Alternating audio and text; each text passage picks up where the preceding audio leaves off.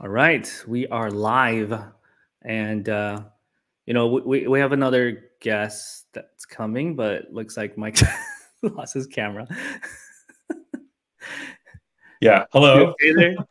yeah, no, I don't I don't know why that happened. I didn't click anything. that's all right. Um, Jay is going to show up a little bit late. That's totally okay. I know he's not um, in the U.S. time zone. He's doing some things, but he will be here any minute here.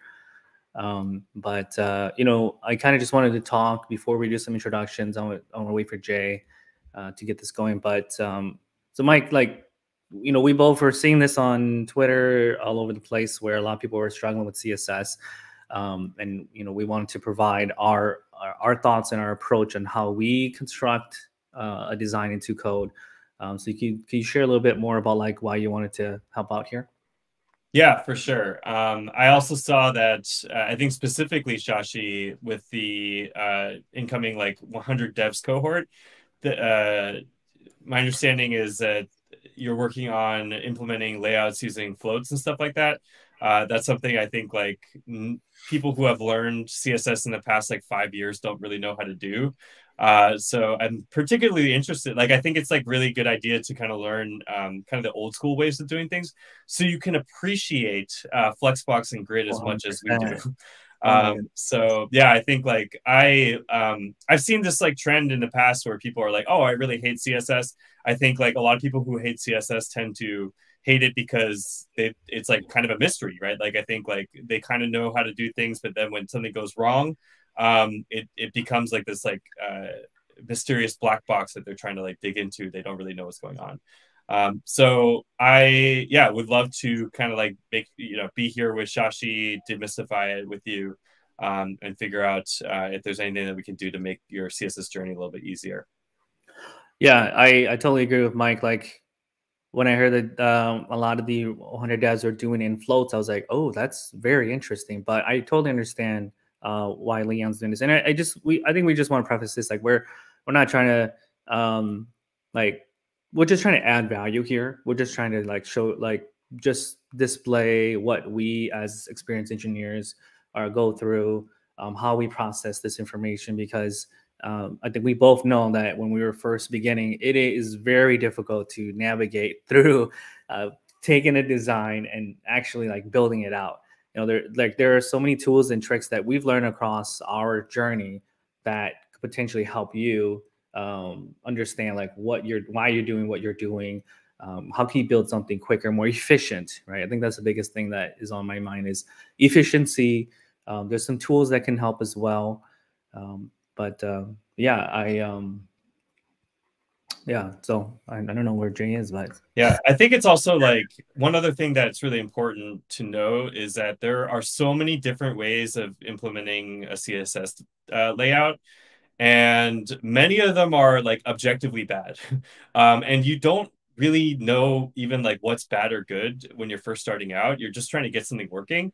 And I think this is true throughout all programming, but especially CSS, because you can really make something look exactly like the design, but it falls apart when you uh, like add more text to it or like when you resize the browser or something like that and so these are things that uh, you'll kind of learn with experience but if someone can you know kind of teach you what to look out for i think it really helps uh, kind of accelerate your learning yeah so uh, let me bring up the kind of example we're going to show. Um, I know this is from, uh, I was contacting one of the uh, cohort members and just kind of get a gauge of what, what's going on. Um, and so we kind of wanted to play play in of like what you guys are going through, but not, like you don't even have to be a part of 100 devs to kind of get some value from here. You know, any layout that you see, any layout that you're going to work with, it's you know the ideas are always going to be there. There's always going to be something. So let me pull this up for us. Oh, actually, here we go. Here we go. I'm here. He's here. Hey Jay. How's it going? Good. Good, good. How you doing, man? Better late than never. That's awesome. No, yeah, it's great to, to have both of you here. Uh, so now that both of you are here, let me go through uh, my introductions and everything.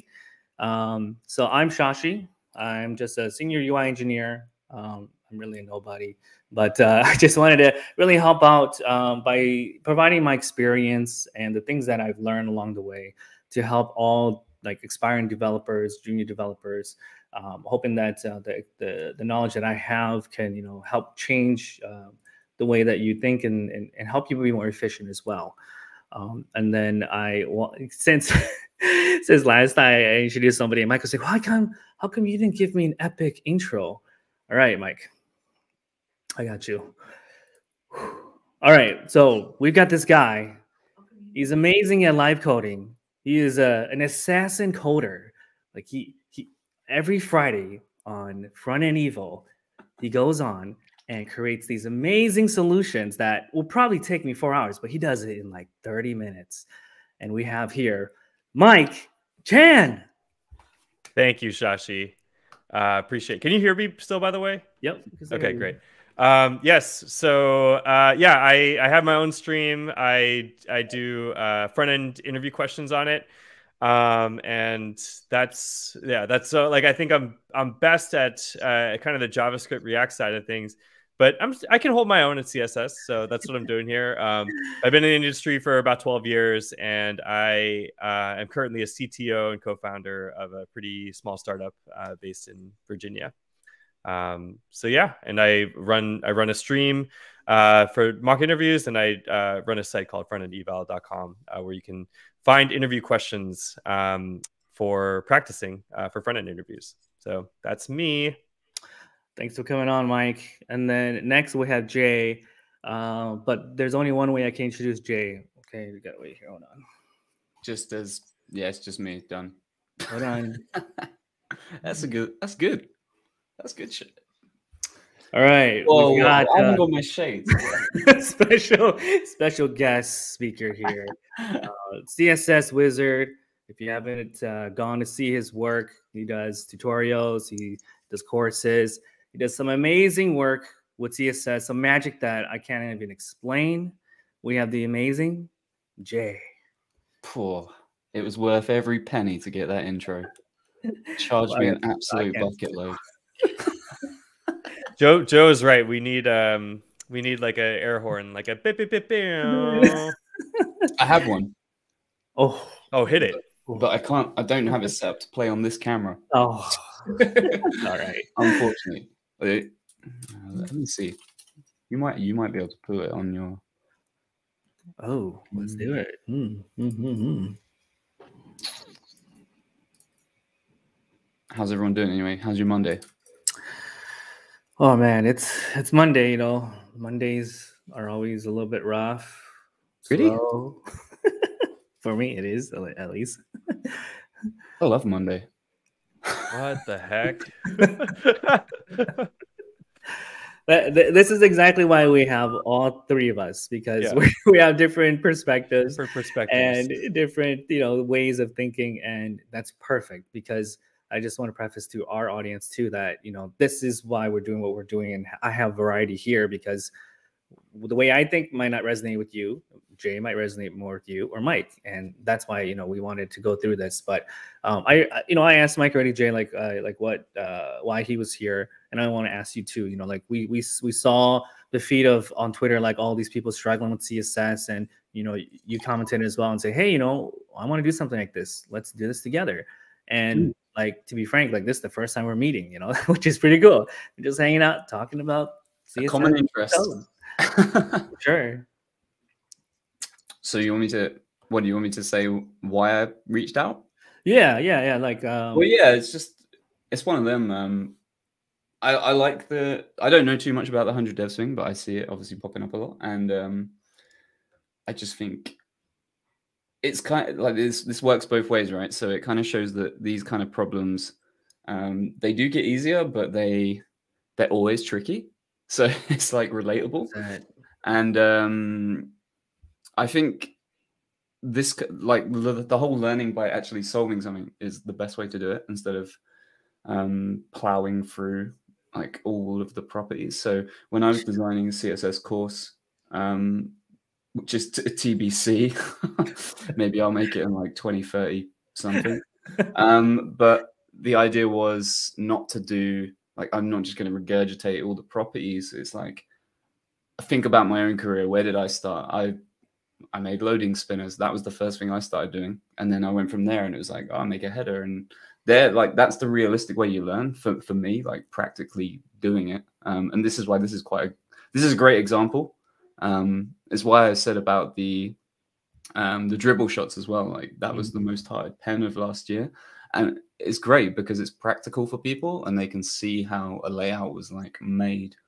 Um, yeah, it's a great way to do it. I don't know if that really answers what you're after. it yeah. does. It does. Um, and that leads me to my next point um, was that uh, you know I, I, did get a sponsor for this because I work with Front End Mentor and I've done a lot of their challenges, and I felt like this tied in super well with what we're talking about. Taking a design and putting into code, right? Because you get specs, you have designs, all this stuff, and this is the challenge as a front end developer: is you're going to receive a design and you're going to bring that thing to life, right? Using the tools you have, um, bringing that to life, and and thinking about web accessibility, responsive. That there's so many other things to think about, but today we just want to keep it plain and simple um, to kind of gauge it towards the 100 devs. But also, another thing is, I did post up a tweet. Uh, Front End Mentor is going to give away one pro uh, uh, uh, subscription for a whole year to somebody that likes, retweets, and uh, follows them. So at the end of this stream, I'm gonna pull up that little, you know, randomizer and choose somebody uh, to receive this subscription. I was going to say as well, just bouncing on something you just said there a moment ago, that uh, design dev like communication bridge is like an an age old, not battle, but like it's an ongoing challenge that just oh yeah just doesn't get easier. Um, there are tools, but yeah, so don't worry about that. yeah. Everyone struggles with I that. mean, I definitely want to talk about that a little bit too because like throughout my career at the beginning though it was such a battle right? You're like going head to head like you know it's my way. No it's your way. It's just like oh my gosh like how do we work together? Like you have to learn how like, to bridge that. it's even just when the communication just misses things out right? So oh. like you just mentioned it responsive. Like there never used to be good tools like if you just received i don't know a bunch of pdfs and it's like there you go make it. And it's like what? What's it like on phone you know? So yeah, but, I think I mean I think this is still something a lot of designers miss. it's yeah. like, you know, what I, I think there are you know like a lot of designers still do like just one mobile and one desktop and like sometimes there's like a lot of intermediate states that still look kind of dicey and developers often are left to kind of infer what those look like which i think like some developers can do pretty well um, but yeah there's there's always going to be those gaps that, that's very um, interesting because i guess that's where it's if you're a more front end dev, then it's good to like just read a couple of design books so you've got mm-hmm. that chops to kind of have the confidence to go, do you know what? I'll do it like that and we'll see what they say. Yeah, sure. so you're not being blocked or something. yeah, I totally agree. I think like I, have I've I've known I don't think it's a hard necessity. I've known a lot of front end developers that are terrible at design. Um, but I think it's really, really, really helpful to know yeah. the fundamentals like alignment, totally. consistency, um, you know, like hierarchy, things like that. Mm-hmm. Um, you don't need to be an expert. You don't need to like generate your own designs, but you can, yeah, like I think you'll you'll certainly get a ton of value out of like learning the basics and like being able to infer what the designer's vision was. I got yeah, into um, I was just gonna say like I got into design only like a few years back, like visual design, and the book that changed it for me was um, refactoring UI. Mm, yeah, like that is invaluable. It's so good. Read a few I, pages and yeah, I gotta, read, I gotta read that book. But yeah, Mike, you brought up a great point. It's like being a front end developer, you do not need to be a, a fantastic designer. Like no way. Like there, there's no way. Like you, you know, you can't do both. It's so difficult. Um, but to understand it will help tremendously. Um, I've just been blessed to work with many, many picky designers where they're so particular that it made me better, right? Like it drove me to be like, oh, I'm going to be meticulous with the implementations that I have now. Because when I first came out, oh man, trust me, it was like all over the place. It's like, why is this two pixels off? Like, what? How could you even see those two pixels? Like, I can't even tell the difference. but it's their you know it's their baby it's like they're they've done so much work with it they want to see it as closely to what they design as possible. And you're right jay like sometimes they'll miss some functionality and that's where we have to cover the gaps. Like what's the interaction here? What's the animation here right? How's this can transition? And so those are the things that uh, we definitely have to go through. Yeah i think like other things of, of like just i think there's all like this common trope of developers like blindly implementing whatever designers do even if like what the designer made a mistake. So i think a very common one is if the designer like made something 18 pixels or like sorry 19 pixels or something like or 17 pixels some random pixel amount and the developer like codes that into the design or into the into the code. Um and without like questioning whether that that margin fit into like the design system or something like that. So i think like having knowledge of like how design systems are go- supposed to work uh, also makes you a better developer. Like being able to catch uh, someone else's mistakes is really really helpful. Um, and you know I, like it's not to say that your designer will make actually they will make mistakes but it's really important to to be able to to know when they when they do make a mistake you know? I, I totally agree with that. Like i uh, had a designer uh, they have a design system. We built the component library, and they were off by two pixels. And I pointed out, I said, "Hey, um, did you want this at 16 or 14?" And they're like, "Oh, 16." I was like, "Well, I was gonna develop at 16, but luckily, you know, I caught it because I'm not gonna go in and recreate something that's a little bit off, like a modifier, right?" But, but you know, like sometimes we just need to like uh, help each other out and, and double check that. And like what Jay's been preaching so time is bridging that gap, right? Like bridging that gap from development to design is a huge thing to do. And I feel like it's um it's it's kind of a role that's not very apparent, but it is needed because many companies that I've been to, they kind of um, push it to the side until it becomes an issue. Then like, oh, how come our app is not consistent? And it's like, well, because you didn't put the um, uh, you know, you didn't put a high priority on this when you should have. And once you do, then you can start seeing this app or this website like just come together It's so much easier. There are some, um, I mean, tooling has got a lot better. Like we were slamming it, but it has got a lot better for things. like um, the one that springs to mind for me um, is probably like Chromatic. I think is really good um, for that kind of thing. So if you don't know what Chromatic is, um, I didn't until I spoke to Don once but it's the like parent of Storybook, and you can do like collaborative reviews and stuff in it. Mm-hmm. Um, that's really good. Like that's kind of a good way to bridge it. But yeah, it's like the one day someone will come up with the perfect collaboration tool. yeah, and we'll all be long gone. for, for the, yeah, I felt like for the longest time that like design tools are like on a two year life cycle. It's just like build up the hype, and then by the time you've learned it, it's the next design. It's like I think it's even worse than like JS frameworks. Um, like it was Sketch for a while, now it's Figma, and then I don't know, now it's this like chromatic thing that you're talking about. Uh, but I would love to like work with a design tool that understands the box model. Like that's that's something oh. that I've just never understood why like design tools don't do that. Yeah, that's a good point. thought of that. Yeah. Very cool. All right. So I wanted to dive in so that we can get um, our, our kind of ideas and our approach on the solution that um, some of the uh, 100 devs have been working on. Uh, so let's see here. This is my first time doing this, and I'm going to try to figure this out. Boom. All right. We're hoping that uh, I'm going to channel this CSS t shirt that's going to save us. Oh, nice. where, where, where can I get that t shirt, Jay? Um, you want to go to Keyframers store. Ooh. I will find a link for you. Um, so looking at this uh, design, right? This is the BBC website. This is just a screenshot. Um, this is not an art file or anything, so it's very static. And the, that's the challenge alone, right? Is that you don't have the art file. You don't know like what size these fonts are. You know, you don't know the spacing here and there. Um, but that's the challenge is to to try to build this without that because like Mike was uh, saying earlier is you know using floats are good, but you also have to do that so you understand why Flexbox and Grid were, was created, and so that you can appreciate these tools. um, because this is actually how I don't know about you guys. This is actually how I was handed designs before, and I had to go into Photoshop and measure each item and you know get the spacing properly. Um, so you know, any of you guys, like I want to hear like your approach, right? Like, what are you, what are you looking at right now? What do you see, um, and, and what potentially could uh, help us out?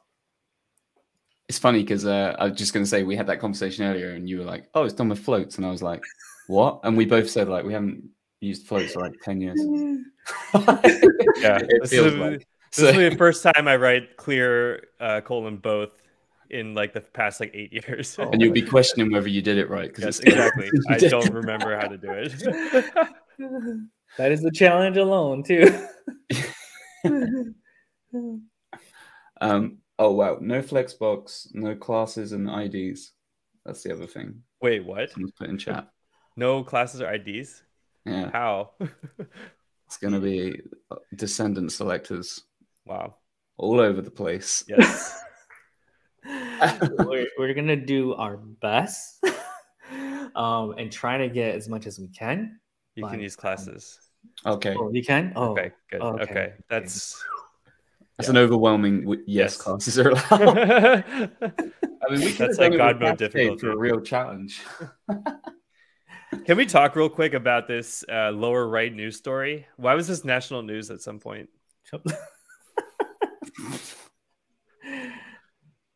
Anyway, sorry to derail the conversation. I was just like very drawn to that. So picture. that's the only thing you saw out of this whole design, right? What? What? Okay. what, what are um? Do they give it? Do they give us the assets, or we just use placeholders?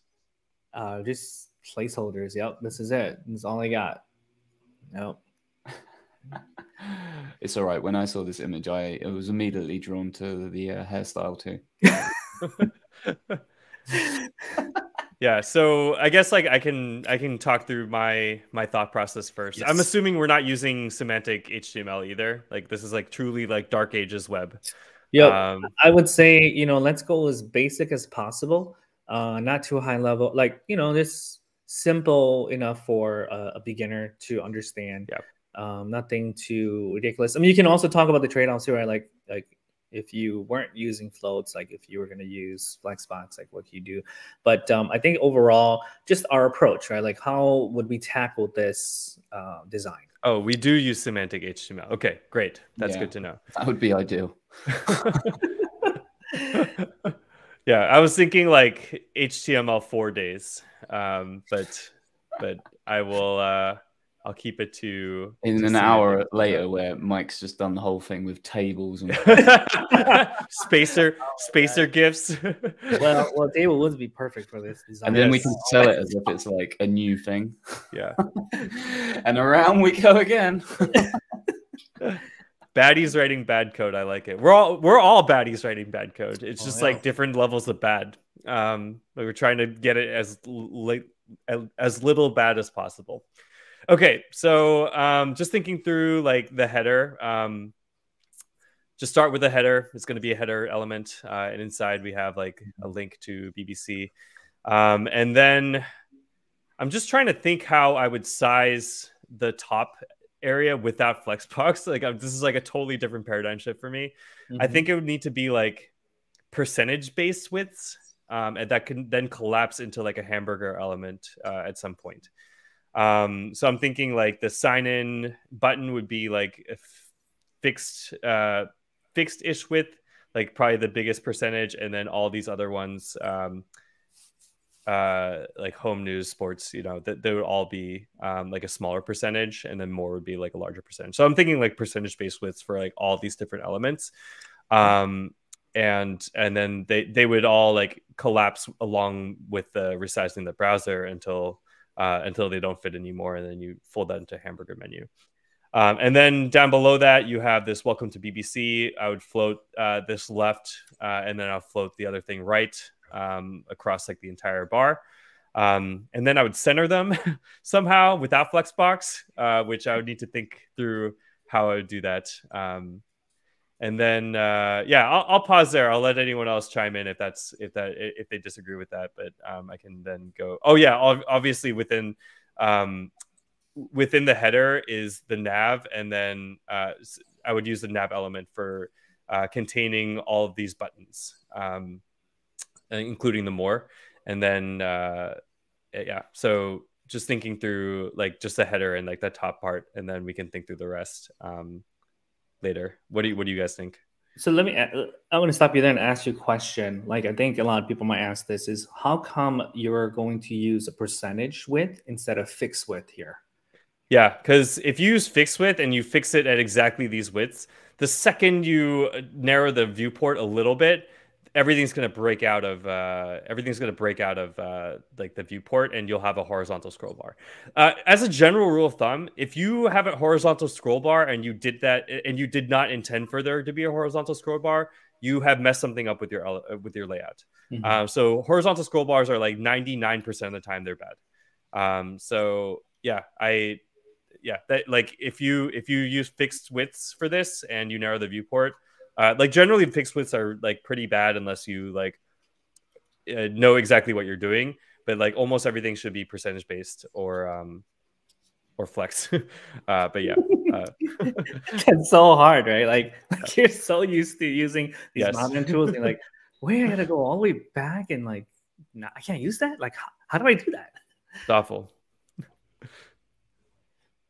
you want my take? Yeah. yeah please. Right. Nav element at the top, I guess, in a header. UL, LI for all of them. Um, they'll have links inside them. The last one will be an input type search. Um, we'll use a custom property to do the height. All the LIs are display inline block, and then they all have a set uniform padding, so you don't have to care about the width that will keep them all on the uh, done. I have um, I I've I've heard debate about whether to use UL and LI for these, um, um and I don't know I where, land, point where you towards. Uh... This man is filled with resources. Oh man, I'm about to I'm about to learn oh something. Goodness. Point you towards this book, mm-hmm. all um, about semantic HTML and accessibility. Got that by, book coming by Heydon Pickering it's brilliant. You can go on the site and you can see most of it for free, but you can get a physical book too. So, and it's all about like stuff like this. So for the for the more button, uh, you could probably do it with CSS alone, but it probably wouldn't be great because you'd probably want to do uh, JavaScript to do like an aria um, when you click it. You'd probably want like an aria-pressed or something just to say that it's open and that there's a dialogue. Uh, I don't know the exact, but it's in here. um, I think it's already expanded to to make it, yeah. But um, also, I saw. I agree on the the the, the uniform paddings too. Uh, that was definitely a miss. Um, I would say also. Oh, inclusive components. Um, and uh, there was a question about Ems or Rems in the chat. Um, almost always rems. Like uh, ems pretty much, I think, only use it for letter spacing, um, and in very very rare cases, padding around uh, the elements. Uh, like, but almost always, um, I would say use rems. Yeah, I I'm a rem person. Um, I maybe I don't know. I've I've seen this battle before. I like setting my rems to one to ten ratio, uh, sixty two point five percent right at the HTML level and then I'm, now my rems are one to ten. A lot of people say there's accessibility issue, accessibility issues there. I've tested it on multiple browsers and it still works. So unless if I'm wrong there, but I don't use ems because ems when you compound ems they grow. They, they grow larger and larger. They grow according to the parents. So that's why I don't use ems. Um, I do use REMs. Uh, and I really enjoy it because then you can scale it right at, at the root level or HTML level where you set your font size if I increase the 62.5 to 80%, then all of the uh, assets and all of the elements that are used rem on, it will increase as well. That works well with like tablet and mobile. Um, I hardly have to do that, but when I do have to, you know, it works really well. What about you, Jay? Um, I don't get caught up in that. Just go with what the designer says. Like really, the realistic um, cases that you know the designer is going to pick a a scale, that's and that's what you're going to go with. And realistically, you'll probably set up some tokens or something and you'll follow the type scale that you're given and you'll go with that. So it's a good thing to know about, but do I ever have to really pick scales and things myself or worry about it? Probably not.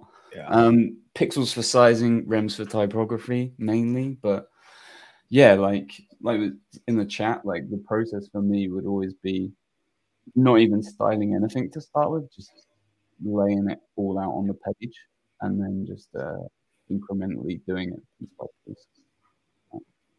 And yeah, I'd put all the, I'd start by dropping all the tokens in and then seeing how I could like use them across the board. Um, nice. I don't Um, think most designers think in terms of rems or ems though. No. I think like No. th- this is that that's more of like an implementation decision.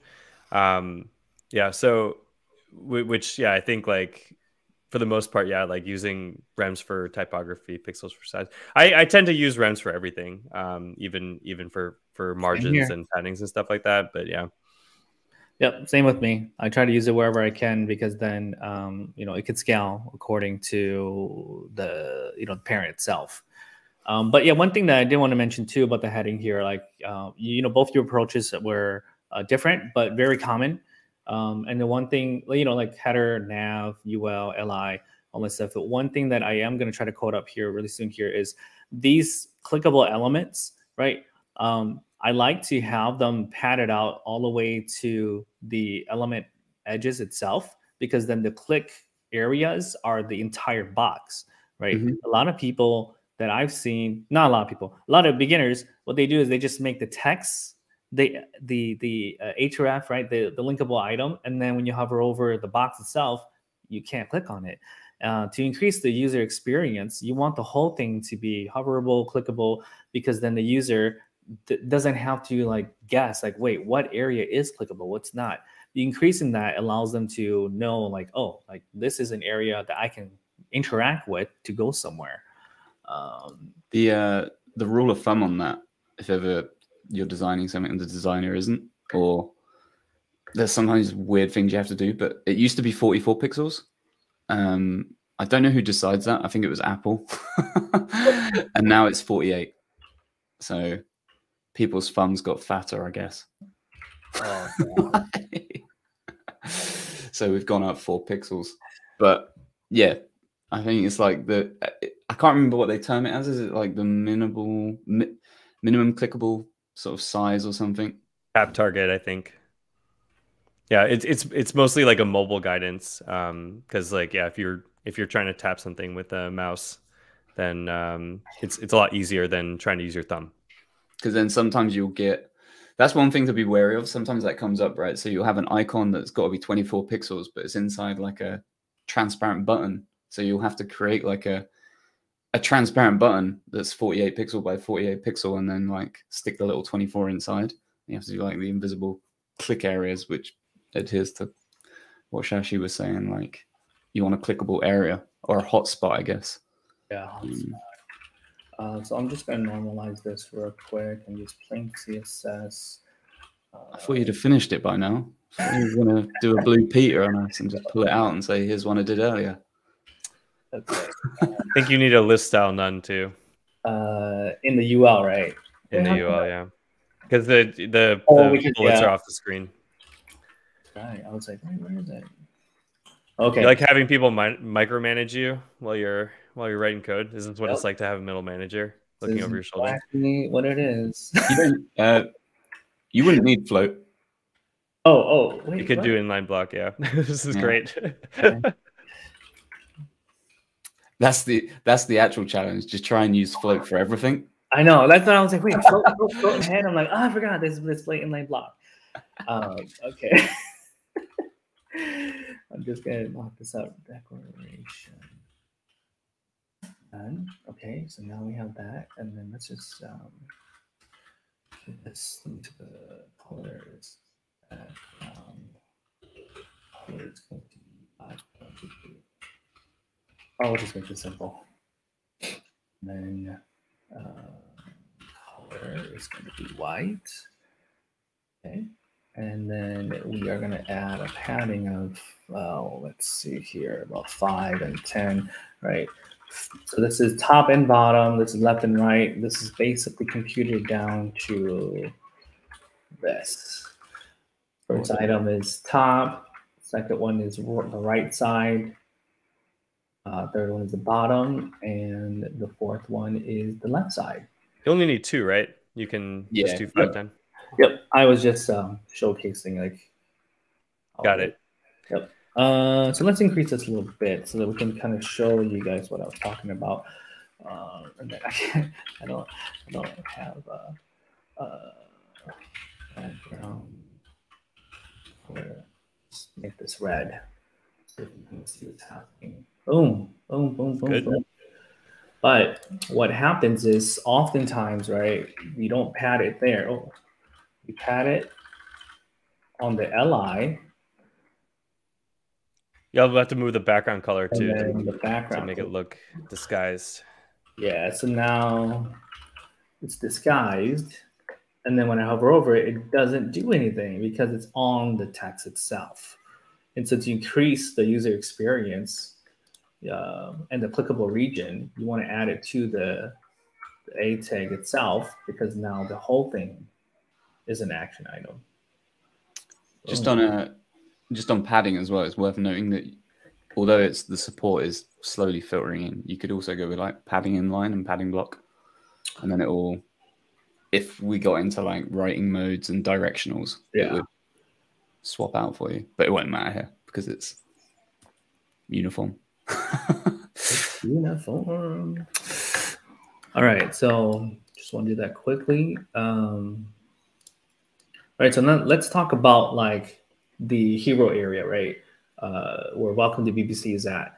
Like right now, we see one large feature item, and we have four um, smaller feature items on the on the right side. I would say, you know, these are all featured items, but the left one is the most recent one, or the most like the one that they want to feature the most. Um, how are we going to tackle this? Yeah, so we would have to probably. I would put a position relative uh, container around like this text and the image. Um, and then probably position absolute uh, the text inside on top. Um, and I would let the image kind of like, I assume that the image would be given to us in like the right aspect ratio, but we probably want to like no, that's that's probably not safe to assume. I, I like I would actually, yeah, I, I, would say like um, yeah, I would set the I would set the uh, the aspect ratio according to what uh, I want it to look like, um, and then I would uh, absolutely position the text at the bottom of this container, uh, and then uh, within the text element would have like the header and the description and like the location, um, and the location would have like this little red border on the left.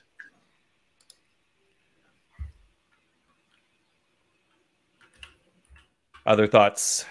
No, like if yeah, if we're just doing these card pieces, then yeah. Um, this is where a really good um, use case for container query would come in because you see mm-hmm. like the left one mm-hmm. has the description, the right yep. ones don't, and because it's because they're smaller. But yeah, we'd have to I guess do that with a class or something to get around that, um, or it'd be like in a different wrap or I don't know. But the yeah, exactly what you said. I'd probably add like a, um, I'd put like a linear gradient over the, mm-hmm. yeah, yeah, just to like darken it up a bit, and a then floor fade.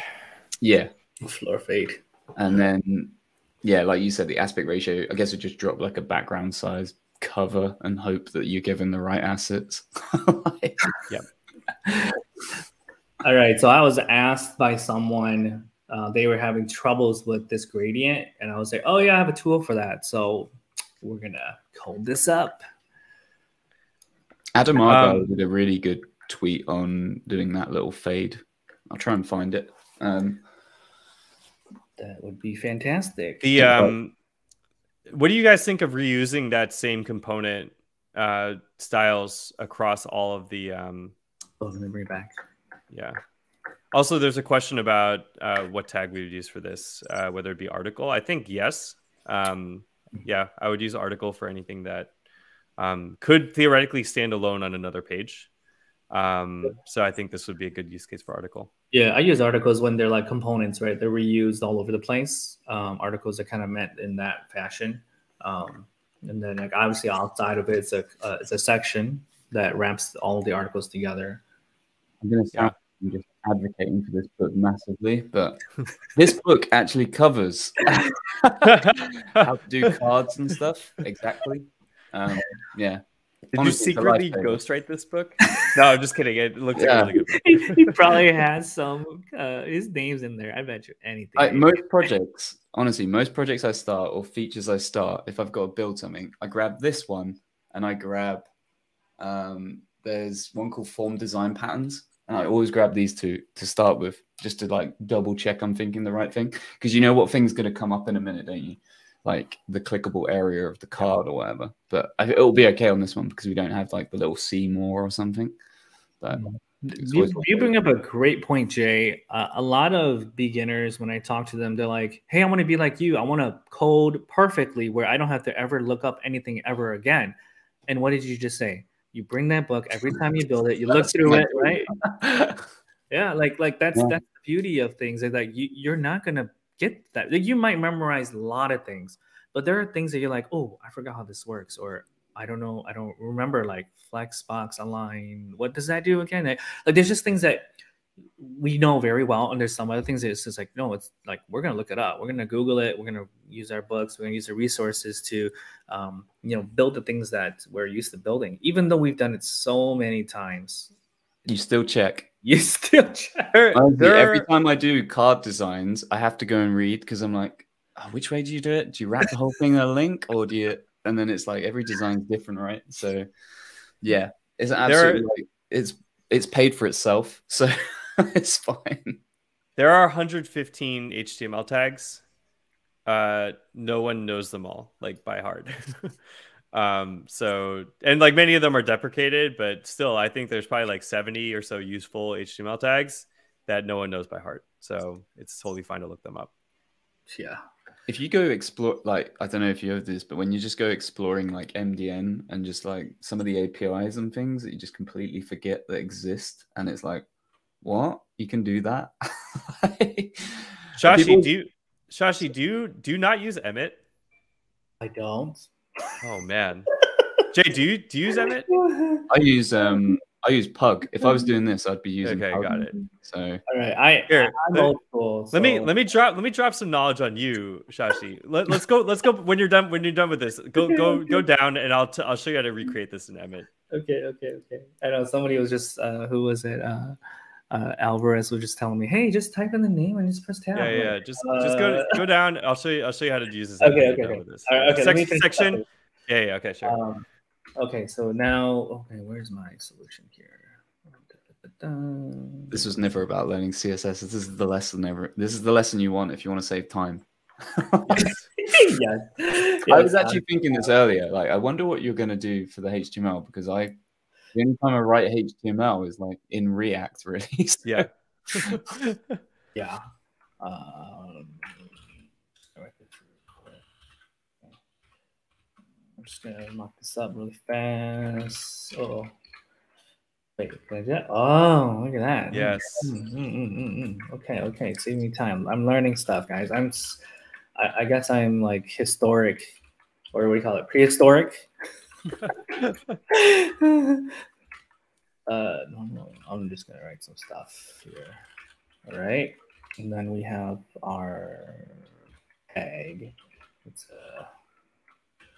Oh, I'm just gonna leave it no classes right now. Tag. Oh, what the, what's the tag name again?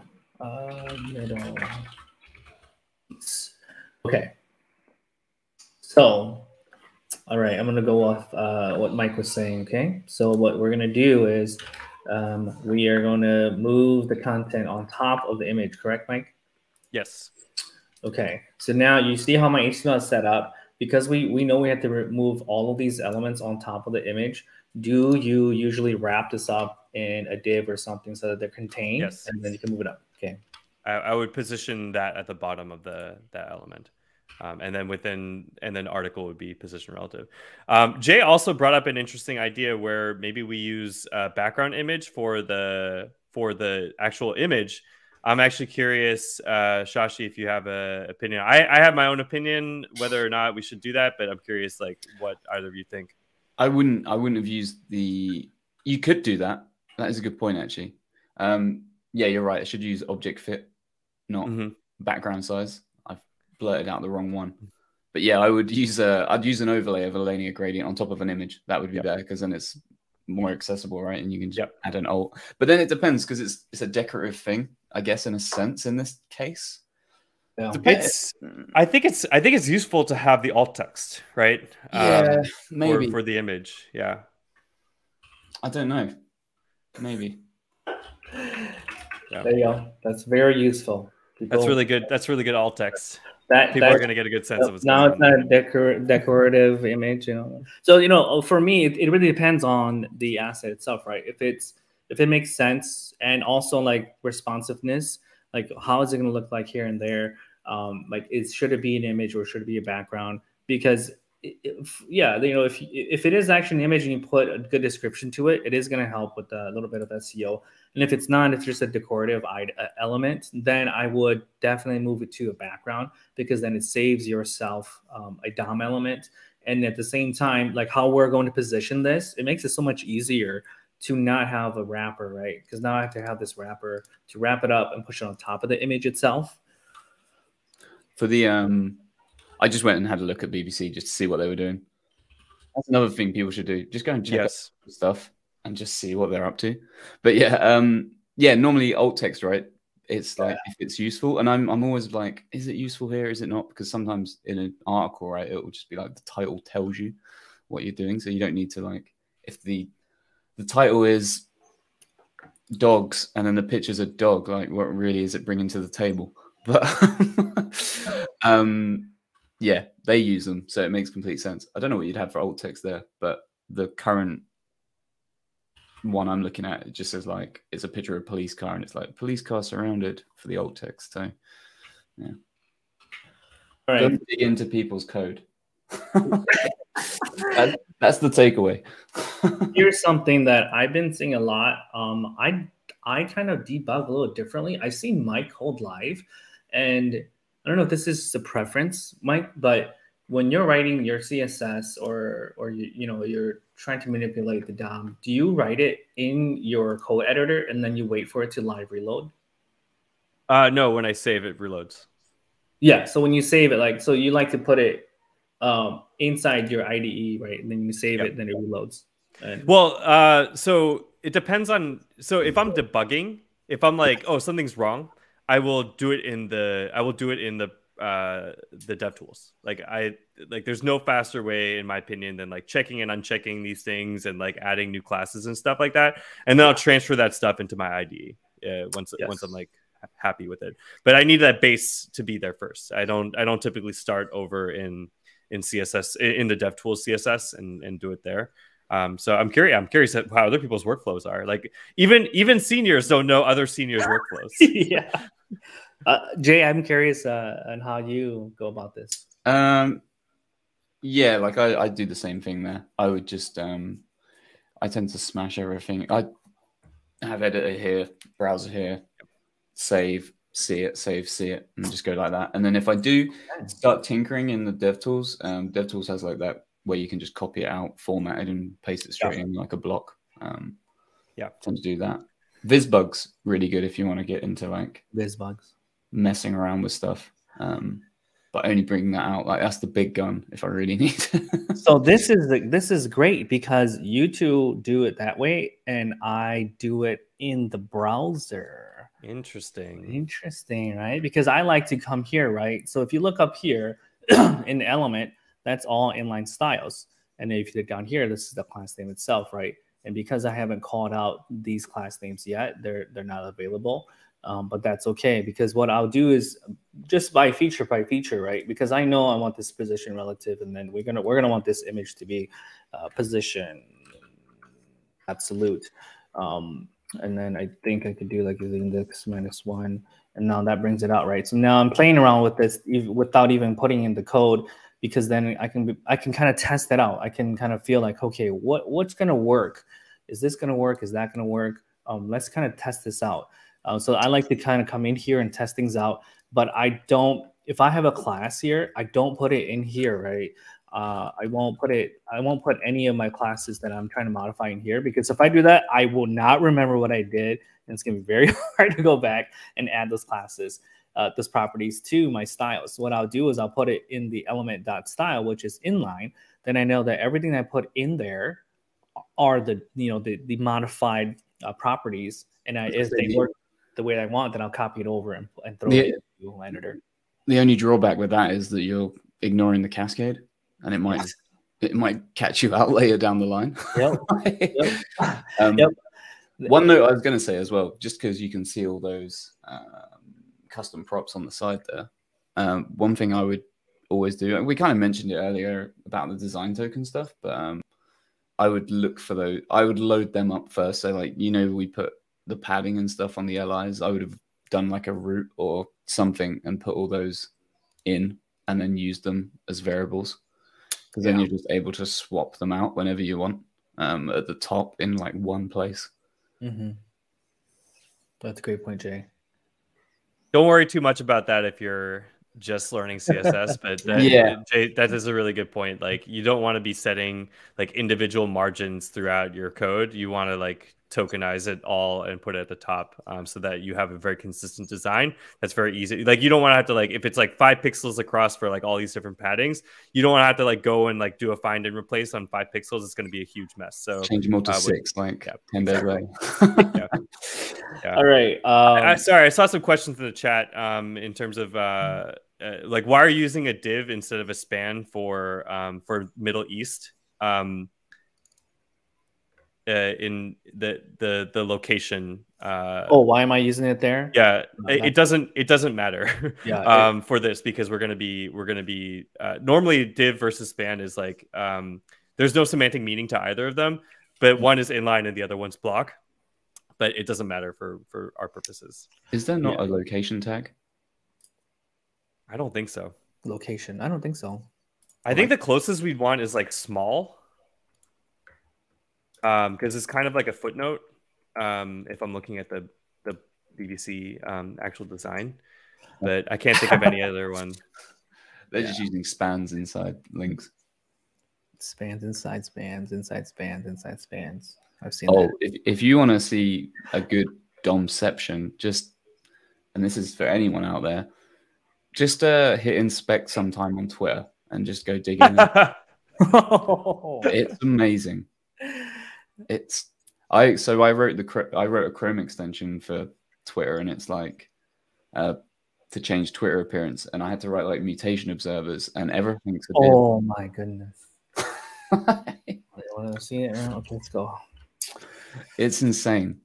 Twitter Twitter is not a good experience for visually impaired people, in my all opinion. my stuff. Yeah, Alright. just like inspect like a tweet or something, and then just look at the DOM, and it's like, wow.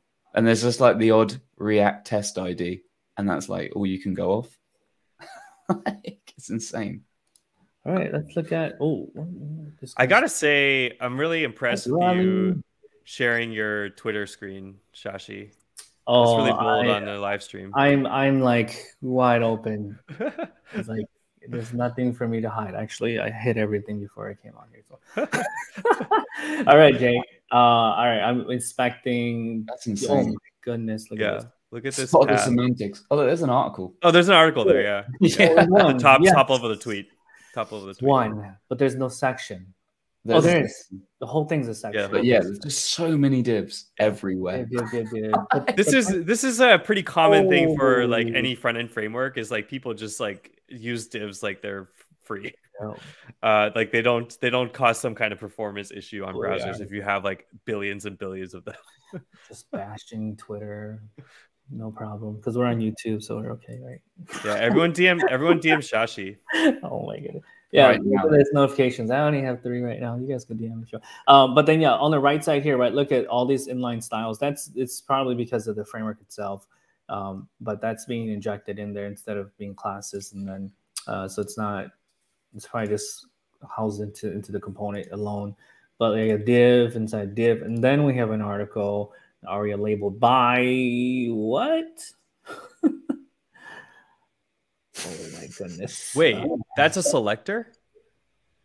yeah. Let's see. It's insane. Wow. How did you even navigate this, Jay? Like, oh my goodness. With a lot of frustration. and then okay, okay, hold on. I'm not. I haven't even got to the content yet. Okay, I've gone. Uh, how many levels here? Okay, one, two, three, four, five, six, seven. Now I'm at the content. Seven levels deep, and I finally got the content. But and then we go here. That's the image.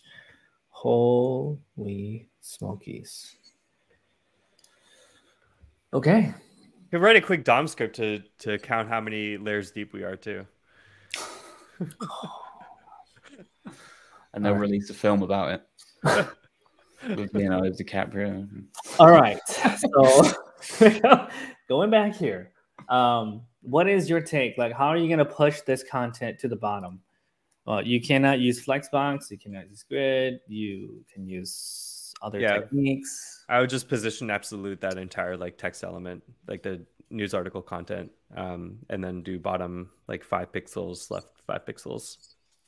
Okay.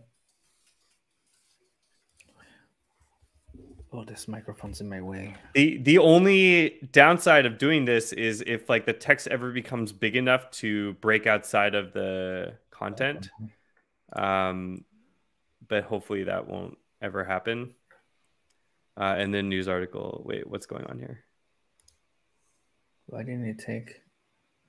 Article is position relative, position absolute. Where is it? It's at it, it. It went up to the top, on top. Why? Why? Why? Why? Why? Why? I have no floats, right? Okay, no No. floats. No, have to worry about floats. It might be this guy. No, can't be this guy. What if to top? This is great for us to struggle like this, right? Like Yeah. so- Why doesn't bottom work? It's realistic though, because that's how it is. bottom zero should have went to the bottom, but it's at the top. It's on top of the image. Yeah. Look at look at our Oh, faces. Oh, oh, oh, oh, oh, I know why.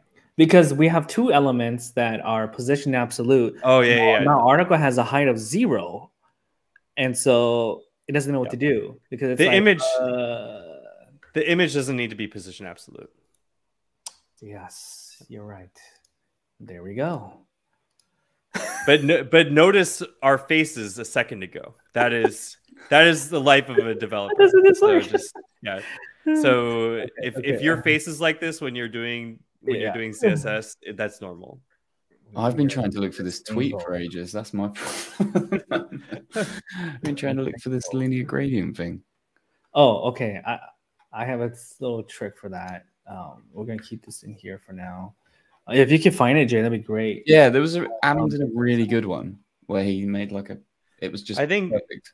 as a placeholder, we can just do like a linear gradient from Yeah. like RGBA 000 like 0.8 to point like two. Yeah, I I've got something queued up here. Let me get this guy in here, and then uh, we can look at this. It's think it'll be pretty. But okay, we got text on top. Okay, now we just let's the, the image gradient. Um, I this is my go-to CSS gradient generator. Have you guys used this tool before? Yeah. Have you seen Josh's one? No. Whoa, that's good. Oh boy. It's not really for these kind of. It's for like really nice looking. Oh yeah. Yeah, Yeah. that av- Oh. it, it avoids like the ugly gray area. Yeah, Mm. it's it's amazing. It's really nice. Yeah. So this tool here, right? What we had was oh, bring it back. It's a lower fade, right? A little fade up. So this is kind of what it's mimicking right now. How I got that was um, I have two gradients here. Uh, they're both black, and this one on the right is 100%. It stops at 100, but I can also de- like increase and decrease the opacity. And so this first one over here is set at 50% opacity so i can easily like drop it down so now it's you know zero and zero but if i move over here let's say 50 50 right and so now when we come down here you can see this is the computed code that will allow us to do that. Um, something really cool that um, I don't do anymore is like you can look at the IE uh, extension here where Ooh. it shows you the prefixes of like this is how we used to have the code manually copying like this, you know, prefixes with WebKit, Mozilla, and then this filter thing is crazy. I I can I, I always generate this because there's no way I'm going to remember this. But yeah. the great thing about today is we have Autoprefixer and PostCSS that can do that all for us without us even thinking about it. And you don't even need those prefixes most of the time. So yeah. Yeah, not anymore. Not in the modern modern browsers. Like it's really not needed anymore. Okay, so now this top one is actually the fallback. If the gradient doesn't load or the browser doesn't uh, handle it, it will just be pure black, which is not great, but it works. Yeah, that's one quote unquote nice thing about CSS is if uh, the browser doesn't understand CSS, the CSS, it'll just like pretend like it's not there. Um, so that's what you're seeing with that fallback. All right. So, what is your what is your way? How we how are we gonna put this in? How are we gonna put the gradient in? I would set the I would set this as a uh, an after. Yes, I agree.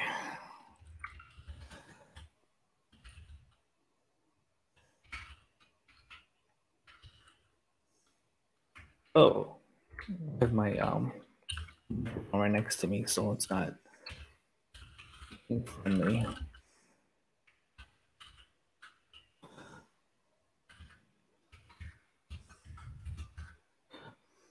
Okay, now I have that. It's wait. Oh, it's the after. Okay. Now I can cheat and do this. Oh. I'm using um, FlyCut to paste all this in. And it's not showing up because there's no height and no width right now.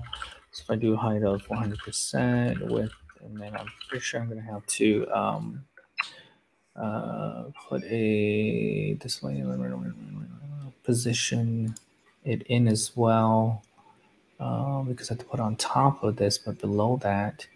So this one, let's do z-index of 10, just 10 on top. And then this one is going to position itself at 1.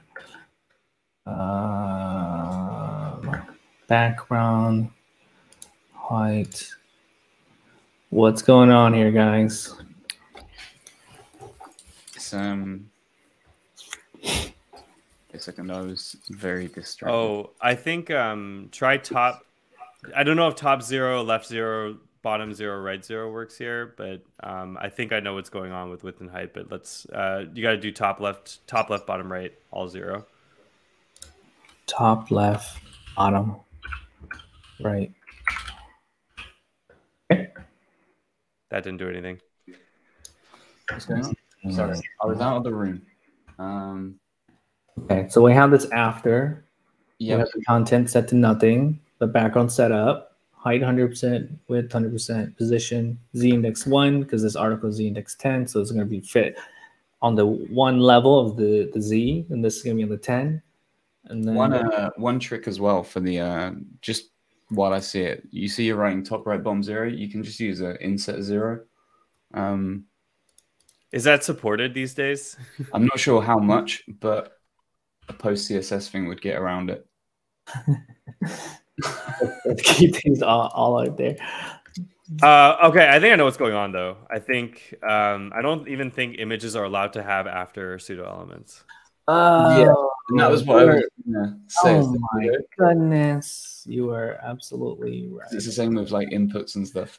So, oh my goodness. but it's interesting that DevTools. Um, Yeah, it still renders Okay. something. Yeah, Yeah, so we probably just need an overlay um, that sits on top between the image and the um, and the uh, and the content. Also, I don't think that z-index on the after uh, element would have done anything because I think it's in a different stacking context than the uh, than the article. But uh, I don't have an encyclopedic knowledge of stacking context. um, but but I do think that uh, they are different contexts. Yeah, this is where like I always like am confused. Like when when you're using some particular elements and they don't have pseudo elements, and you're like, wait, why is it rendering? Like, how, how come this is not working? Boom. I believe I can just do, well, let's just do without the inside. Um, bottom zero should work. And I don't think, oh, we do need that, huh? Okay. Yeah. I don't, uh, we do need the left. Okay, so that one, there it If is. you if you do right zero, then you don't need the height and width either. I don't think. right zero. Yeah. Oh, I see what you're saying. So you're just putting it right in the middle, right? Uh, you're stretching it a- across the entire element, and I don't think you need width and height Uh, let's see what we got here. Boom. Awesome. I didn't know that, Mike. I learned something. Mhm. I always set it 100% and just do it bottom and left, and then it just pushes itself. There we go. Looks pretty good. Looks, well, it's a little bit off here. The whole, oh, oh, there we go. It's it's on the whole thing instead of the image now. Um, so it's overlaying, right? These, Uh, the, yes. the article, like the, the whole thing here. Um, But the article should only be as big as the the image anyway. So I, aye. that's why we need object fit, right? Oh, yes. Dynamically, how do I do this? Just within image, I think just object Because fit oh, because oh, I, I see, I see. Because on the image. Yeah, you want to stretch the image. okay, Contain, right? Or cover? Uh, I can never Yeah. remember which one is better. It just needs, um, it needs a whip 100% on it. I think. Boom. yeah. there you go. and then it's still pushing down a little bit. No, that looks good because then we want to then the container of that news article should set the width to like 50% of the the total column. Yeah. Ah, I didn't even think about that. We could just use. Uh, could you use column count to get that layout as well? I don't think they're allowed to use column count I if don't they're think so. we, can't, we we gotta go like 15 years back or so. we can't do that. Oh man, this is amazing. Okay, um, I kind of knew that you know we're gonna have a good conversations and we probably weren't gonna build everything, but um, I did want to show some tools that could also help um, build uh, websites, right? Uh. Uh, okay. So the first one that I wanted to, oh, was that right? BBC.com, right? B- BBC, not Oh. BCC. BBC. BCC. Oh, I might have gone to a not so good site there. All right. So the first uh, plugin I have, I don't know if you guys uh, use this daily, is Web Developer. It's the Chrome plugin tool to really help you uh, with some tools. Uh, so first, like right right away, like if you open it up, you can disable like all JavaScript if you want to debug. Uh, something that I really like to do when I build a site is disable all styles. This way, I can be like, hey, you know, for accessibility purposes, let's see what they're gonna see, right? Because if I tab, well, let me see, start from the top. If I tab through this, you can kind of see what it's gonna go through without even going through the design. You have no styles here, and it's really nice to just kind of go through the site and see what it's built, well, how it's built, um, what what what assets are there, um, all this, you know, like plain 1990s website, right? like nothing. There's no styles. It's just nice just to kind of see the uh, the framing of the site itself. Uh, and so this is something that uh, I really enjoy doing. As as Jay said earlier too, um, this is ideally how you should start building your site. Is like you you should ideally have some version of this when you've built your site out uh, before you've even applied a single style. It's really helpful to kind of like set the skeleton before you start working on the styling, um, and and making sure you have like your site has like good bones. I used to use that extension. I don't think I use it anymore. Um, it is good though. I I think I mainly used to use it because I used to like switching off, um, not so much styles, but like scripting stuff, and now I just use the command palette and DevTools all the time. Yeah, I I don't use is so good. Yeah, Yeah. I don't use this as often either, but I, I have it, right? And I'm like, oh yeah, I can do this. This is pretty cool. And then one thing that I really like about this is uh, right here, responsive layouts. If you have to build responsive layouts, you click on this guy and it's going to show you all these different layouts, right? Now I have a mobile, I have a 480 by 320, I have a small tablet, and it's all rendering inside this one. It's not native, but it gives you a good picture of like what, you know, how this website looks like and you can kind of debug this a lot easier. Um, it's 800 by 600, you know, so it's pretty cool. This is one thing I really like about it. This is awesome. I've never used this before. I've never used this particular functionality. It um reminds me of is it responsively.app? Uh, Leave that out. Yeah, there's like a little um it's an app where you can do this and you can pick all the different and it, it lays them all out and you can change things. Um it's pretty cool. Responsively app. I think uh is it Polypane as well does this kind of thing as a browser. Oh, There yeah. you go. Look at that. This- Yep. This one's cool. Oh, very cool. The like th- like these sites might probably have uh, uh, better engines too to be more accurate because I know that this plugin, uh, this web develop plugin, like this responsiveness, it, it, it has not displayed some media queries that I had before. Like it, it does a great job though, like kind of displaying what's going on. So this app probably does a, an even better job. But look at that, you can go horizontal, makes it easier. I like That's really cool. The mirror interaction thing is like unbelievable. So like Oh, right here. Wow. Yeah. Wow. Holy smokes. That is pretty cool. Oh, yep. It does it to all the screens. Oh, awesome. there's just so many tools. Yeah, I know. I did. You guys, you guys actually know a lot more tools than I do. All right. and then the, la- the last tool I wanted to show off was this one here called Pixel Parallel. Um, this is what I usually lay my designs on top of to kind of get pixel perfect. But there's this really cool tool, uh, grid and U rulers.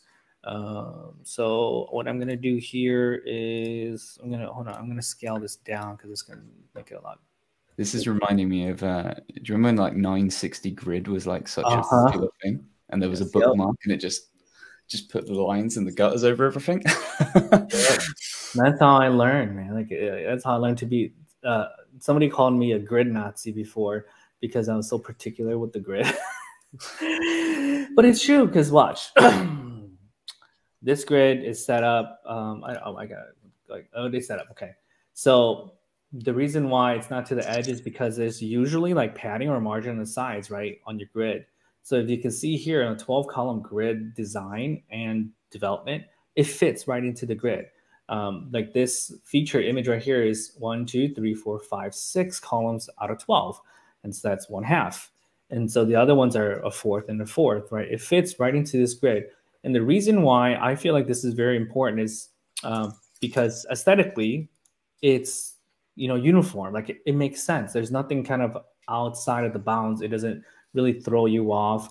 Um, like as as I scroll, keep scrolling down here, right? You'll see like majority of the design is fit in here. This column here fits in. The images fit in. Um, this one doesn't, and it might be because you know. Oh yeah, it doesn't really fit in. Huh. Yeah, but Um, it, it, it's a three column layout within Yes. within the within the like I don't know one two three four five six seven eight within eight columns. Yeah. Three columns split into eight, so it's still So- within kind of the grid layout. Yeah, so the so what I found too is that it's the seven with an eight, but then when you put it in the seven, that container becomes a new 12, right? Because uh, it's like you use Bootstrap, Bootstrap columns. As you as you nest a container within a container, then that container, which now is, is seven out of the parent 12, that has its own 12 inside. So these are a third of a third, which is uh, four by 12, four by 12, four by 12. And so that's how kind of works. And so uh, as you see here, like everything kind of just falls into this grid because it's it just makes sense. It just like it's more pleasing to the eye when everything is pretty balanced. Uh, there's also like a lot of like articles about oh does should we design using a grid um, those articles are not for people like us uh, for like people who are like part-time developers who are like just trying to uh, just like get something organized. If you're like a full-time designer that's like pushing the boundaries of design and stuff like maybe you don't need a grid but if you're just a developer use a grid. Um, yeah, they, who, if you're a developer who like dabbles in design definitely use a grid. Like your your designs will look a lot better. Oh yeah. 100% I don't think Jay needs a grid though. I just see it all in grids. yeah, Shashi, maybe this is a, you know, I think we're, I, I, don't know how much time you're planning on staying on, but I would say that um, one other thing that's really important that may not be as obvious to everyone is like learn the dev tools really, really, really well like know how to hide elements, know how to like hack these styles and stuff like that, how to inspect, get extremely comfortable with them. Um, it will save you so much time to like be able to mess around with it and like like Shashi Shashi's doing, uh, just like seeing that real time feedback, uh, like side by side, you know, like unchecking these styles and stuff like seeing what happens. Like this checkboxing is like one of the most brilliant things ever. Just like being able to like see what happens when you remove a style and add it back, uh, seeing the difference between those two things you'll learn so much by understanding how to use this tool well. Um, I think Shashi plays it really dangerous where like eh, like you you do a lot of work in you do a lot of work and I'm like if, if Shashi just hits reload by accident it's all God. so that, I, I actually have um I've done it before but then I've trained myself not to press reload at all. And that's how it, it kind of works for me because impressive. for, for, for myself like that that alone is very efficient for me where I just go in play around real quick and it's like go through the whole thing and then I go back and I'll, I'll take the styles because um, for me it's very tedious to go back and forth, back and forth. You know, trying to go through something uh, because like let's say I'll just give you as an example. Let's say he's just like proper living on the edge, like he's weeks, yep. weeks into a feature and he still hasn't put any code in the and no like code. the RAM is just going into right. his Chrome, and then the tab dies and he loses the whole sprint. Yep. yep, yep. I live on the edge um because like let's say right here right, i want to uh, use uh, grid. And then i want to come here and do this grid template columns. Everything's in here for me to kind of play around with uh, 1fr 1fr 1fr one thing um, that people often overlook as well is like the little tools the little sub tools of the tools. So you know like display grid there you can click the little icony thing Yep. And then you get like. Yep. It tells you exactly what's available. And then I can click on it and boom, that's what happens. Yeah. Bam. Yep. Like, that's super useful, that's... but often and you can, when you hover the element, so you can see the grid, uh, which is incredible. Like, and they, they added all these things like silently. I don't remember ever mm. reading like announcements about them. Wait, but, like, wait. If I hover over the element, like yeah, if you hover over, me, yeah, right there, you can see oh, yeah. you can see how it's like divided up into the yep. grid. You can see yep. like exactly how it's outlined. So yep. it's just amazing. Like we didn't have any of this crap. Oh my god, we when we were starting out, it was just like so you had to just guess. yeah, this is we're like just holding up a piece of paper and rulers to the screen and hoping. Yes. oh my god, yeah. yeah, I feel so bad. Like like when I heard that uh, Hundred Devs was just doing floats, I was like, oh, I feel so bad. But I understand I understand why, but just be appreciative of the tools you have nowadays because back then it was not this easy. No. Oh, hey, we didn't use a single float in our design today, by the way. Oh we should my. probably we should probably I tried, but, but you guys corrected me, so which is great. Because yeah, it's instead of a float, you can just see displayed inline block or inline, depending on what you need it for. Um, and then it kind of works itself out. Um, oh, I don't want to showcase myself. yeah, someone said in chat on screen rulers. Yeah. Yeah.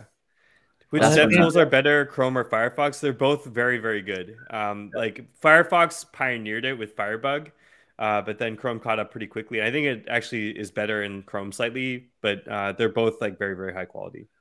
I brought up Firebug the other day, just like nostalgically, but obviously you still use it. You can still use it in like BrowserStack and stuff, but just that little icon, like here we go. yeah goodness yeah just just the like like you guys are talking about like just the tools that you have available right in today right um like before we had to do all this stuff by hand or like like just watching us watching us go like struggle with some of these layouts like wait i forgot how to do this. Why isn't this working? And then it clicks right? It's like oh yeah because this, the images can't use pseudo elements or uh, positioning. We forgot to set this and that. It's just like things like that you know we still struggle with too. Like it, it's it's gonna be a struggle but as you start building as you start gaining that knowledge and as you start like when you fail and you learn then you keep failing you keep learning and then those things are going to stack that success is going to stack and then you're going to start to just recall like what what you went through just to get to that solution yeah, so right. Just don't be overwhelmed. Try not to get overwhelmed by it. Oh, That's the thing. I, I would say also like, oh, sorry, go ahead, Jay. No, no, no. Go for it. Go for it. I would say like one thing that is really important too is like there are rules to what's happening on your screen, even if it looks random. Like I think that's one thing that like I really struggled with when I was first starting out. I was like, why? Like I just added a pixel here, and like all of a sudden, like the layout's completely broken. it's not like so. uh, This is this also happens in like Microsoft Word and Google Docs, where like I just like try to align this text differently, and all of a sudden, like everything's broken. Um, the difference is in css there's a reason why this is happening and if you learn enough you'll understand that reason um, but in microsoft word that's impossible. Like you it's just a black box. But with css there are like rules to everything. And like if you if you learn enough you'll understand what's going on. And so just remember that it's, it's not random. There is logic behind it. Uh, it's a matter of learning what that is. Yeah, you know, um, you know, thank you too for coming on this stream. It's like a last second thing, um, but I, I just really wanted to do something to give back to the people that are learning. Right, I kept seeing people on, in my feed. It was just filled with CSS is hard. I hate CSS. it's very difficult, and yes, it is. But it takes time, just like anything else you know it takes time you like what mike was saying like go and uh, look at a site and turn all these things off add some styles to it kind of see how it works um, and like jay was saying you, know, brought so many good resources for us to to look into. Like that book like i, I got it. It's coming my way. I, I really want to dig into it and read it more because um, web accessibility is becoming a huge thing. And if we don't stay on top of it we are going to fall behind. Uh, because right now, you know, a lot of sites are getting sued just because they don't have the proper uh, web, ex- you know, accessible sites. And for that's kind of our job too, is to be on top of that, to be able to uh, implement those these things because uh, sometimes you kind of have to be what forward thinking and, and do them ahead because when it comes back and you don't plan for it, it it is very difficult to go back and redo your code just to make things work for something that you could have planned for ahead of time. Yeah, it's much harder to. I can't think of what the word is, but like shoehorn it back in, uh, retrofit. That's it. Like retrofit things in when you could have, like. So sometimes that is a thing. Um, this is going into like a real realm though, but sometimes that is a thing where the design dictate dictates one way, and you're like, well, how does this work from an accessible point of view?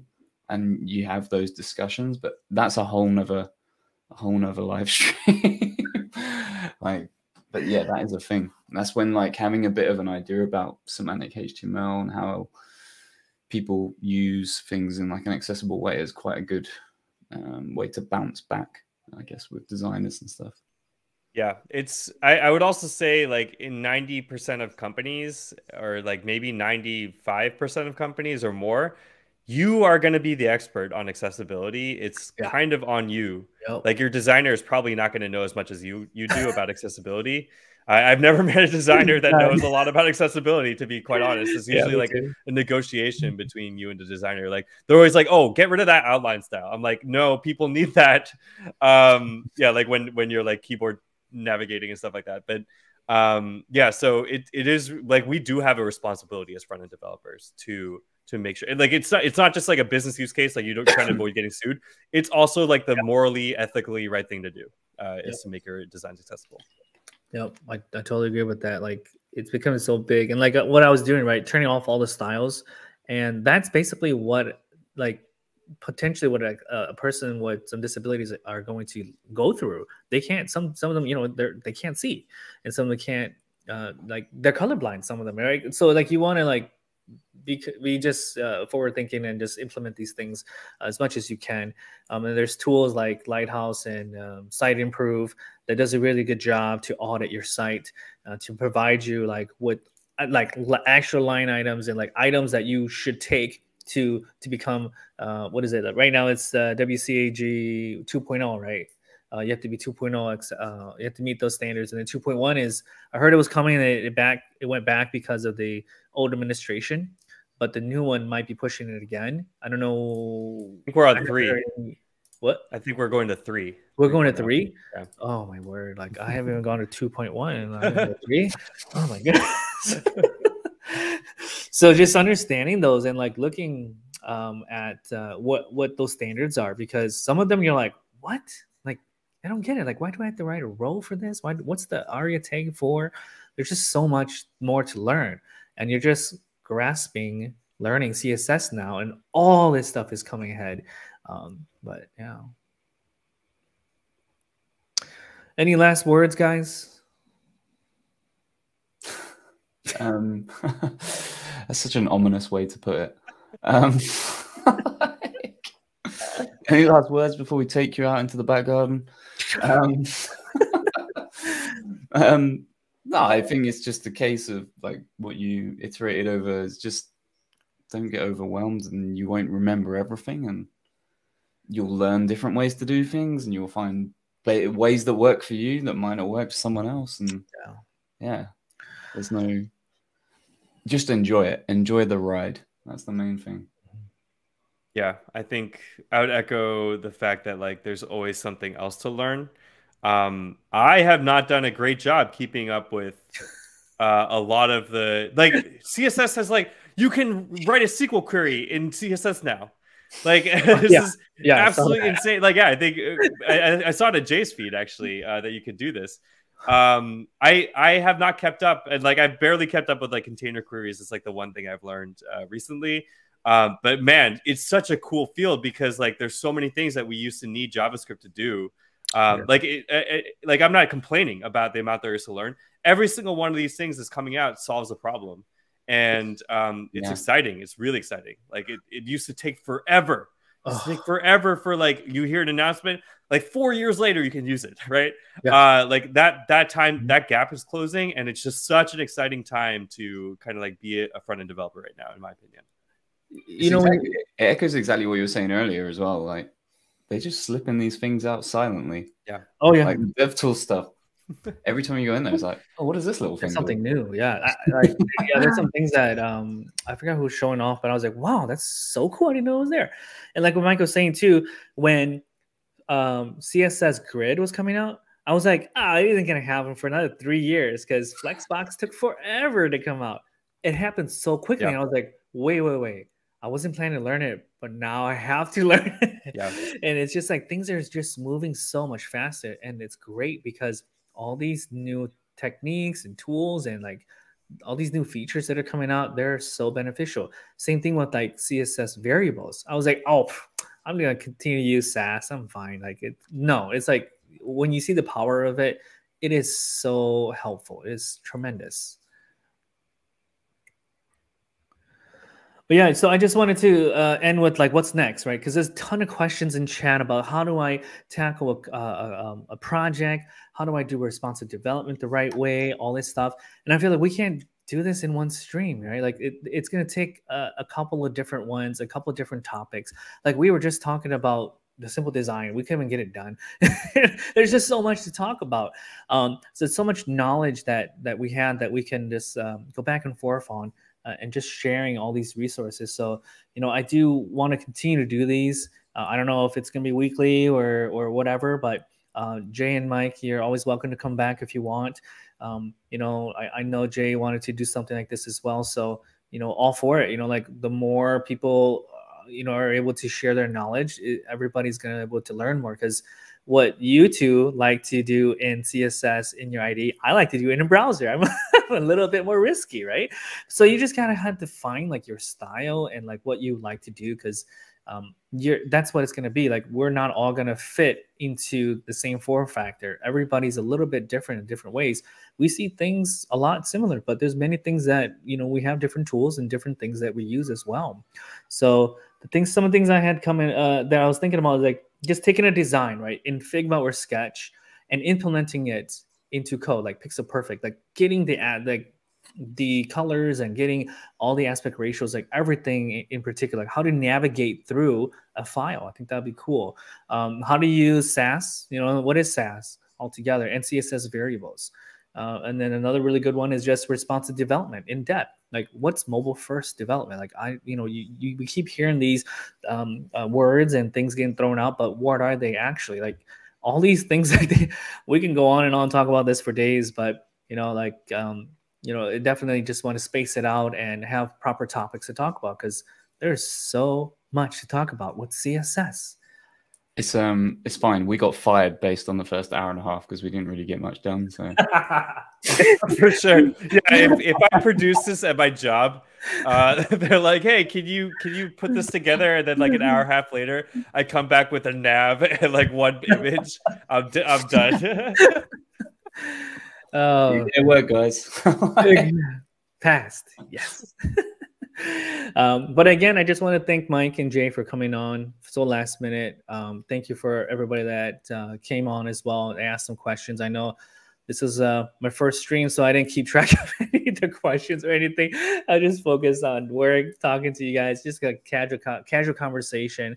Um, next time, you know, I'll do better at that. But um, again, oh, forgot we have to do a drawing. Dun, dun, dun, Why don't you guys uh, talk it out while I pull this up? I just say like uh, it.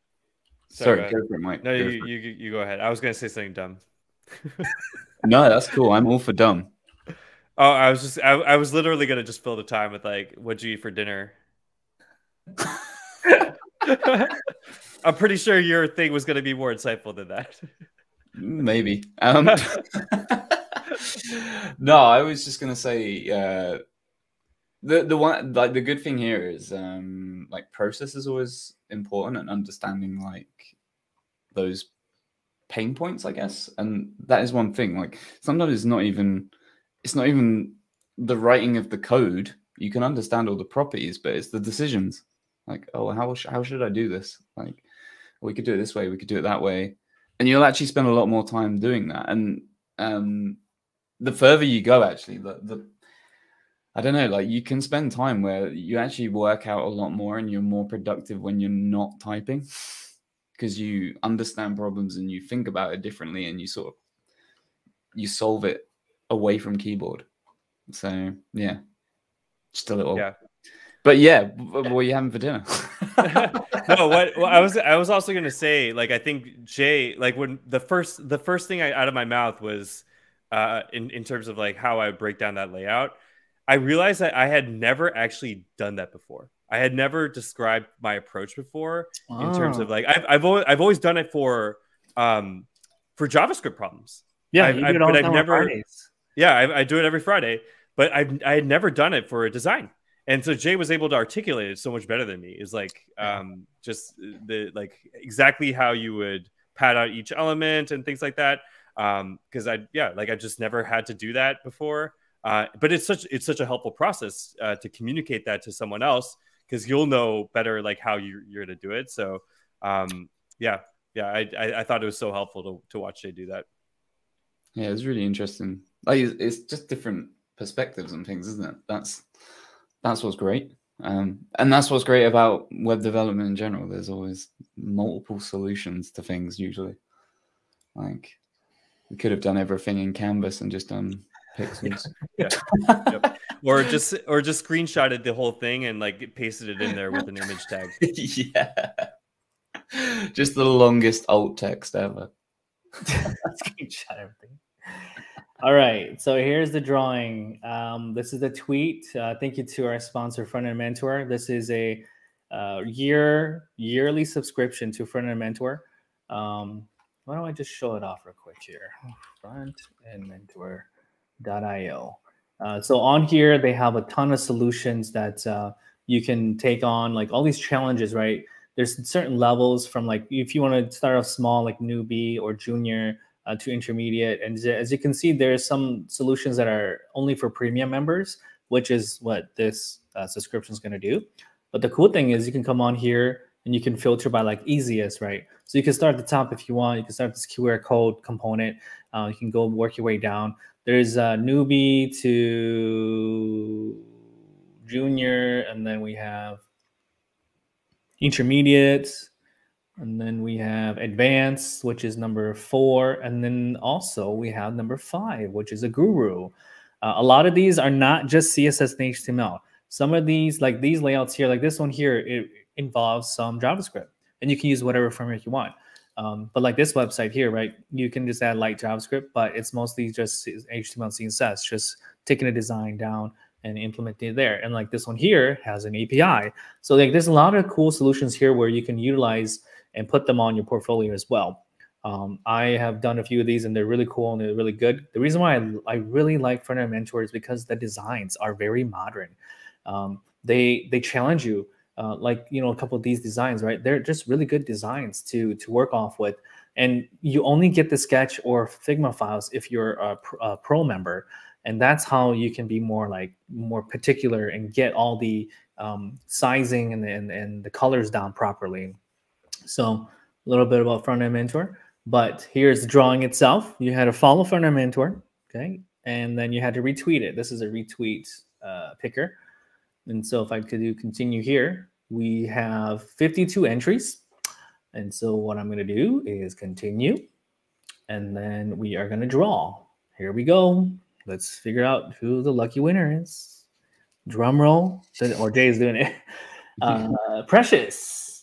Precious is the lucky winner. Woo! Congrats. Air horns. Do, do, do, do, do. Nice. awesome. So Precious, I would contacting you, and then uh, we'll get you going. There you go. There you go. and then we will get you your yearly subscription to Front End Mentor. Um, again, you know, thank you for everyone for coming. Thank you to Mike and Jay. Uh, it was fun. We had some good conversations, and you know, hopefully we can do it again. So, bye, everybody. Thanks, Shashi. Thanks,